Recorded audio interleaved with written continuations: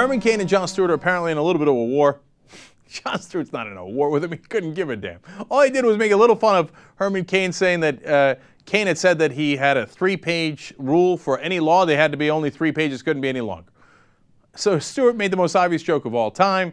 It just he can't be bothered to read, and he said the new law is going to be that all the laws have to be back on the on the back of a cereal box. Good fun stuff, right? Herman Cain apparently heard this and did not take it well, and brings a racial angle into it for reasons I'm not sure about. But let's watch. But they want to jump all over me. Jon Stewart, on the way over here, true story. On the way over here, I did a radio interview on Sean Hannity's show. Y'all get that here? Mm-hmm. Sean Hannity's show. He pre-taped it, so I'm telling you, when you hear it, it's not always live. He makes it sound like it's live. I did an interview on Sean Hannity's show on the way over here. I have been traveling and campaigning so much, I did not hear what Jon Stewart said on uh, Chris Wallace's Sunday morning show last Sunday, where he was mocking my three-page bills. Did you see that show? Mm-hmm. And then he mocked me with uh, an Amos and Andy type, you know, rogue. And Sean said, you didn't see that? I said, no, I didn't see it, John. I'm out campaigning. And so they played the clip. And I said, well, Sean, first of all, if he really thinks that I'm serious about a bill only being three pages, the joke's on him. And I said, secondly, as far as him mocking me, look, I've been called every name in the book because I'm a conservative and because I'm black. Sticks and stones may break my bones, words are not going to hurt me. When I was on that radio show, because I happen to be an American black conservative, I label myself, I'm an American black conservative, the ABC. They keep wanting to try to put labels on me. I have been called Uncle Tom, sellout, Oreo, shameless.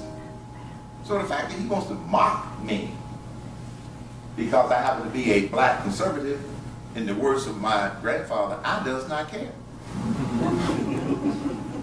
I does not care. You know, for most of that, I was going to give him a pass because he was saying, look, he's mocking me, but it's no big deal because as a black conservative, I've been mocked plenty of times. Okay, he's not saying that Stewart was bringing his blackness to it, but actually, if you listen, in the beginning, he said Stewart did an Amos and Andy kind of thing on him. No, he didn't. He just made fun of you. He made a joke of you uh, about you, as he does about every candidate. He didn't do anything Amos and Andy. And then, second of all, he said at the end there, oh, he's mocking me because I'm a black conservative. He said it at the very end right there. Then I was like, oh, no, there you go. I was going to give you a pardon. You blew it. You blew your pardon. Okay?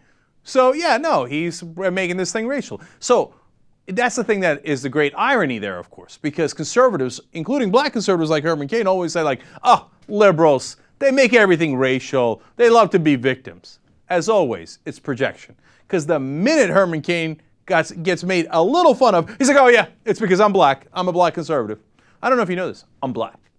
By the way, I've said this before. No one repeats that he's black more than Herman Cain does. I've never seen anybody like this before in my life. Every speech we see him, he's like, I don't know if you all know this, but I'm black. yeah, Herman, we figured it out. we got it. We got it on your first speech, and you know, there's some visual clues. he's like, oh yeah, yeah. Now they're gonna make fun of me because I'm black. And you know, I got called all kinds of names. I got called idiot, moron, stupid, loser, buffoon.